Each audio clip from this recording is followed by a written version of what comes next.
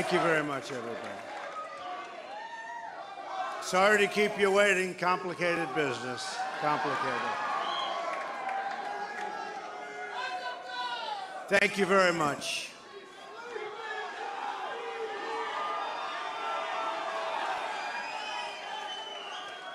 I've just received a call from Secretary Clinton.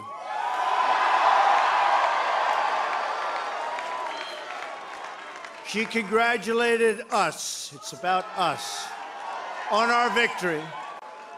And I congratulated her and her family on a very, very hard fought campaign. I mean, she, she fought very hard.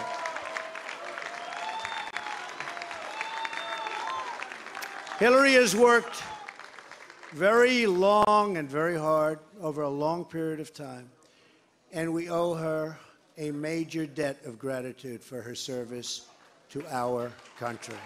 I mean that very sincerely. Now it's time for America to bind the wounds of division, have to get together. To all Republicans and Democrats and independents across this nation, I say it is time for us to come together as one united people. Time. I pledge to every citizen of our land that I will be president for all Americans, and this is so important to me.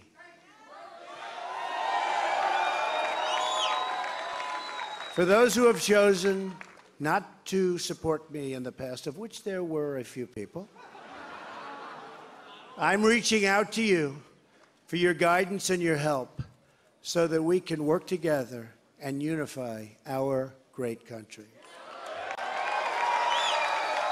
As I've said from the beginning, ours was not a campaign, but rather an incredible and great movement made up of millions of hardworking men and women who love their country and want a better, brighter future for themselves and for their family.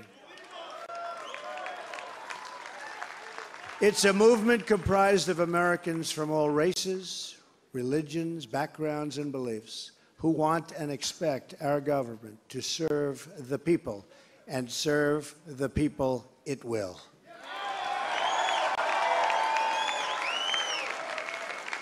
Working together, we will begin the urgent task of rebuilding our nation and renewing the American dream.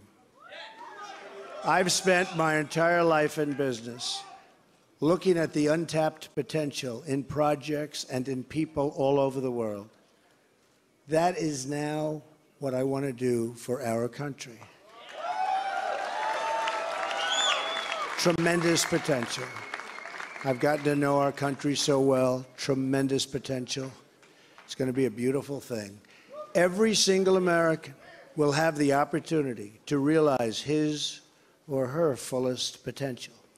The forgotten men and women of our country will be forgotten no longer.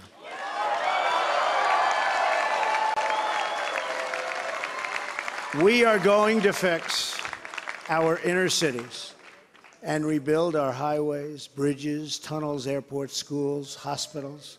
We're going to rebuild our infrastructure, which will become, by the way, second to none. And we will put millions of our people to work as we rebuild it.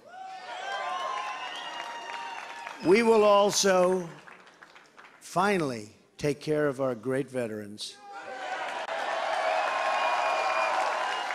who've been so loyal, and I've gotten to know so many over this 18 month journey. The time I've spent with them during this campaign has been among my greatest honors. Our veterans are incredible people. We will embark upon a project of national growth and renewal. I will harness the creative talents of our people, and we will call upon the best and brightest to leverage their tremendous talent for the benefit of all. It's going to happen. We have a great economic plan. we will double our growth and have the strongest economy anywhere in the world. At the same time, we will get along with all other nations, willing to get along with us. We will be. We'll have great relationships. We expect to have great, great relationships. No dream is too big, no challenge is too great. Nothing we want for our future is beyond our reach. America will no longer settle for anything less than the best. We must reclaim our country's destiny and dream big and bold and daring. We have to do that. We're going to dream of things for our country and beautiful things and successful things once again. I want to tell the world community that while we will always put America's interests first, we will deal fairly with everyone, with everyone. All people and all other nations. We will seek common ground, not hostility, partnership, not conflict. And now, I'd like to take this moment to thank some of the people who really helped me with this, what they are calling tonight, very, very historic victory. First, I want to thank my parents, who I know are looking down on me right now. Great people. I've learned so much from them. They were wonderful in every regard. I had truly great parents.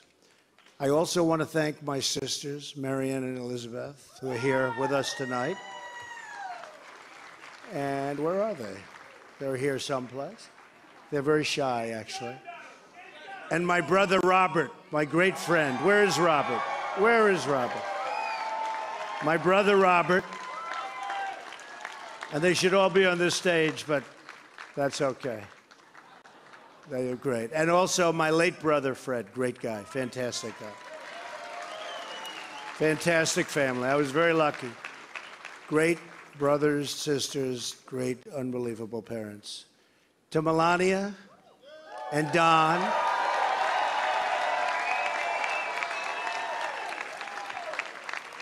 And Ivanka and Eric and Tiffany and Barron. I love you and I thank you and especially for putting up with all of those hours. This was tough. This was tough. This political stuff is nasty and it's tough. So I want to thank my family very much. Really fantastic. Thank you all. Thank you all. And Lara, unbelievable job. Unbelievable. Vanessa, thank you. Thank you very much. What a great group. You've all given me such incredible support, and I will tell you that we have a large group of people. You know, they kept saying we have a small staff. Not so small. Look at all the people that we have. Look at all of these people. Bob, what are you reflecting on this morning? You know, I remember when Richard Nixon resigned and CBS News correspondent Roger Mudd was part of the panel. Uh, after that happened, and they said, Roger, what's your reaction? And he said, You know, I think I want to go home and sleep a couple of hours, and I'll come back and tell you tomorrow. I, I, uh, this was totally unexpected. Uh, I, I, think uh, uh, certainly uh, from those of us who've been covering politics and in, over the years, this is, I think Charlie is right. This is, this is historic. But I don't think we can say right now where this goes from here. Unexpected, not because of any interest in politics, but unexpected because of the polling. The polls were telling us. Uh, polls done by many different organizations at many different times, and were all pointing in the direction of a Clinton victory the polls and the behavior of a candidate that, people said did not was not fit to be president of the United States. So many people had found his behavior egregious, but at the end of the day, it really didn't matter. I take, you know, I take some hope in his speech tonight, though, that he said he wants to reach out, that he wants to build bridges, and that he wants us all to come together. I think that's a really good way to start in this country because there's a lot of healing that needs to happen today. If you look at, to your point, Gail, if you, on the questions of has the right experience and has the right judgment, Hillary Clinton won those questions by gargantuan amounts and numbers, but again, it's not what people uh, wanted. They wanted change over experience and judgment. They're fed up. All right. Well, Yeah. We, we, Change we is what they all will of get. You. Yeah, and we it, has hope- been, it has been quite a night. we hope he rules by fear rather, I mean, by hope rather than fear. Fear. Well, his conciliatory uh, uh, victory speech tonight was certainly uh, a very good step in a long, long process over these next four years. We sure are grateful that you stayed here with us all this time. The Yes, who raucous, are you people? rancorous, Yes. sometimes raunchy election of 2016 now comes to a peaceful, if improbable, end. Right. 70 year old Donald J. Trump will be sworn in as the 45th President of the United States on January the 20th. The Trump presidency begins in 72 days, fueled by what we know now is record turnout. Election coverage continues now on our streaming news service, CBSN, and there will be much more in just a few hours. Really? Yeah. Gail, gonna be here, Charlie, and I, right back here. Wearing these same clothes. Yeah. For Norah O'Donnell and our entire campaign 2016 team, I'm Scott Pelley. Thank you for being with us on CBS. I am officially running for President of the United States. I'm back! When Mexico sends its people, they're not sending their best. I'm running to help working families get a raise! We will make America great again. The. American people are sick and tired of hearing about your damn emails. It's weak to disparage women.